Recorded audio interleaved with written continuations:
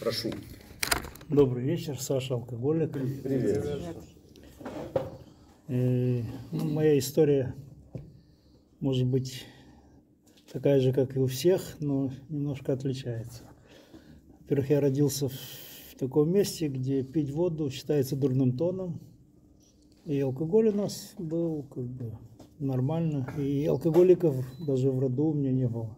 Моему отцу, да, моему отцу 89 лет, он сейчас за обедом наливает себе 50 грамм вина. Покушал и все. Ему это не... А я как бы начал это вот увлекаться, увлекаться. И потом смотрю, мне понравилось. Но живя в той жизни, как бы были ограничения. Там, я работал завгаром, мне нельзя было, если за руль там, э, там уже заранее не пить. Не то, что с вечера выпил, а потом сел за руль, это уже было плохо. А когда я приехал в Израиль, это такая радость, что, оказывается, можно выпить определенную порцию, сесть за руль и, и, и все нормально. Если тебя остановят, донешь, если тебе не перешло, так нормально, езжай дальше. И меня это вдохновило.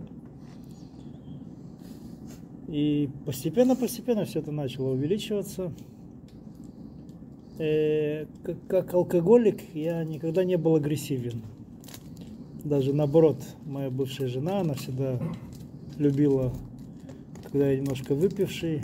Более того, она даже мне делала комплименты. Говорит, ты нас в любом состоянии домой привезешь. Я садился за руль, привозил домой. Мы были на какой-то гулянке. Как я приехал, я не помню. У меня был джип Исузу, я в окно смотрю, а он припаркован там спереди столько и сзади столько. Думаю, блин, как я его туда вытаскивать буду? Ну, жена смеется, говорит, ну, выпей 100 грамм. И... Не, не, я к тому, что как бы мой алкоголизм никому не мешал. Даже наоборот, все радовались. Мне мешало отсутствие, вот когда у меня хотелось выпить и нету, вот тогда я был агрессивен, тогда я нервничал. И я постепенно стал себе делать э, отходные запасы. У меня была в багажнике, в ящике бутылочка. Я, я брал бутылочки из-под воды, переливал туда э, алкоголь цветом под воду. Но все думали, что я воду пью. У меня была бутылочка в дверце машины, одна в багажнике. Дома у меня было так на балконе, э, на кухне, в определенных местах. Ну, там, куда жена не лазит. И когда кто-то кто-то пришел и вышел на балкон, там якобы что-то сделать, пошел, дым, дым, пару глоточков, а, все, я, я хороший, я уже нормальный. Но в какой-то момент я понял, что что и так же невозможно, ты когда-нибудь чем-то плохо закончишь. Потому что я уже понял, что я утром встаю, я работал на руководящей должности, я приезжал на работу в Ворокиву с Петактыквы. Я не помню, как я туда доехал.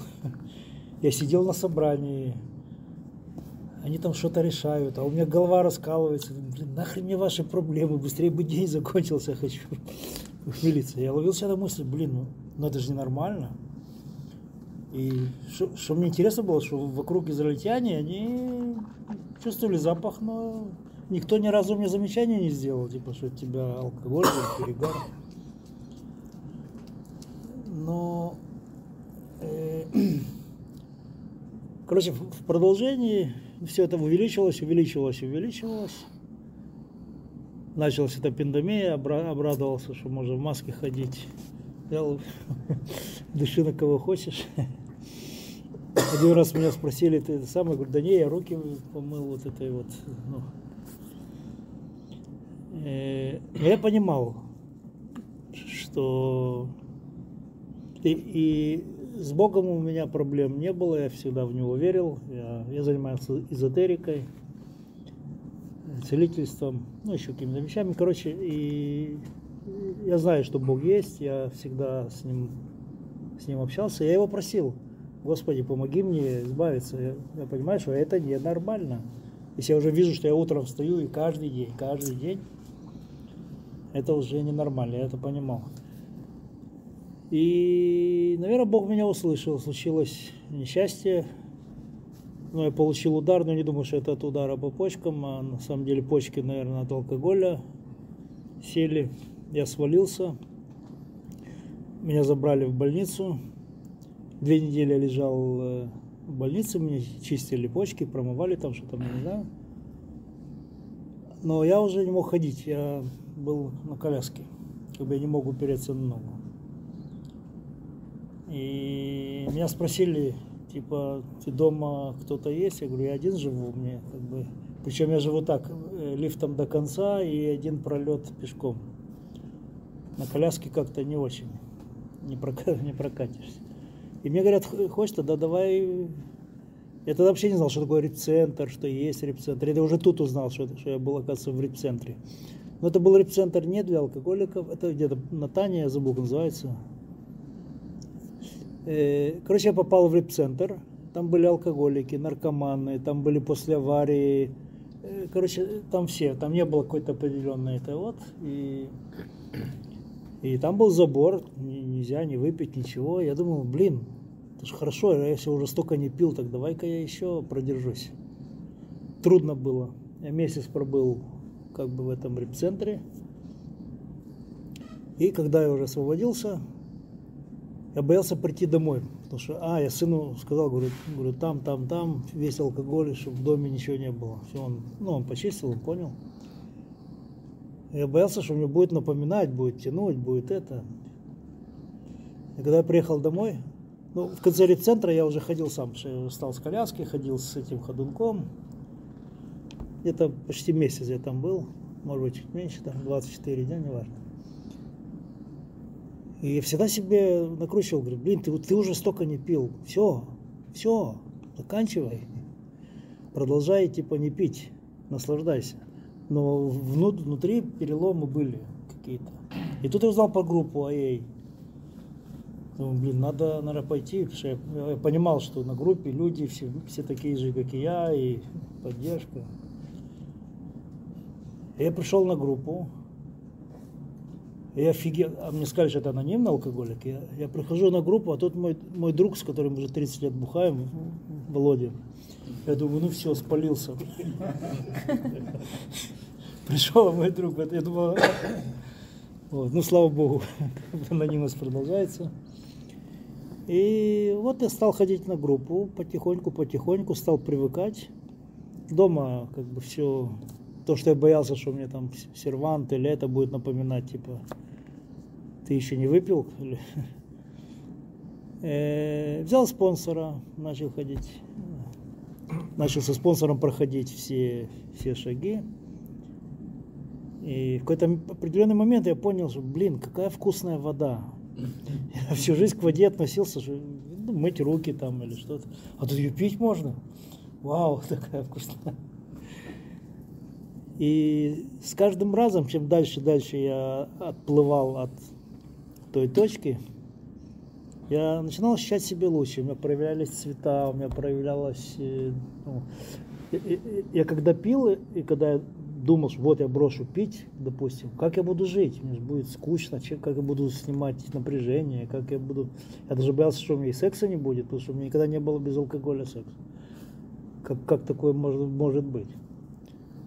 И вот постепенно-постепенно я потом, смотрю, это все нормально, даже еще и лучше. Как бы и цвета другие, и запахи другие, и водичка. И на сегодняшний день я просто я сказочно рад, что я встаю утром в понедельник, и он решен. У меня ясная голова. Я прихожу на работу, я соображаю, что я делаю, как бы четко. Я, я, я наслаждаюсь вот этим, вот этим прелестным э, ощущением, трезвости. Потом было несколько раз, я э, как бы был ну, в компании, где все выпивают. Ну, где-то полтора года назад умерла моя мама, я ездил туда, ну там за столе все, все выпивают. Все, и меня даже тут на группе боялись, и посмотри, не сорвись, там это самое. Не. А мне помогла еще одна такая фраза, мне тоже мой друг Вова сказал – он как-то бросил, и вот она у меня в голове застряла, и она мне всегда помогала. Говорит, вот выпить каждый может, а ты попробуй не выпить. И вот это, я когда вспоминал эту фразу, я так смотрел, все бухают за столом. А, я не хуже вас, я лучше вас. Понимаешь? Ну, себе, как бы, себя поднимал. И потом еще рассказать. Потом год назад я попал в больницу, делали операцию на сердце. И я лежал в больнице, я долгое время был дома лежал, полгода я вообще не, не вставал. Спасибо друзьям, э, приходили, помогали мне. Э, и поймался на мысли, я лежу в салоне, думаю, блин, сейчас группа. И они же там объявляют сроки трезвости. Блин, они же меня обгонят. Я думал, вот Алекс, он же позже меня пришел, я приду, а он будет впереди. Ну, как бы такие вот. И на сегодняшний день я, я просто... А, еще моменты даже... Я умудрялся на тренировку, я приходил, но то, что перед тренировкой там 100 грамм для бодрости, это одно. На тренировке я ловился на мысли, что я ждал быстрее, когда все время смотрел на часы, когда уже закончится, чтобы пойти э, опять ну, добавить. И как бы даже странно, что никто даже и не замечал, что у меня запах алкоголя, ну там все, э, все израильтяне, как бы русских практически нету, только у нас у русских есть сразу, опа, алко, э, типа запах, а израильтяне они мало на это реагируют. Вот. И сегодня я вернулся и, и в спорт, и нормальная работа, я просто сказочно, я по-другому сейчас вижу и сам спорт сами тренировки, думаю, блин, как это, 18 лет, блин. Оказывается, что-то. И как бы вот. Спасибо. Спасибо вам. Спасибо. Александр, мы тебе вручаем диплом за окончание второго года с пожеланиями. Спасибо тебе. Оставайся с нами. Оставайся трезвым.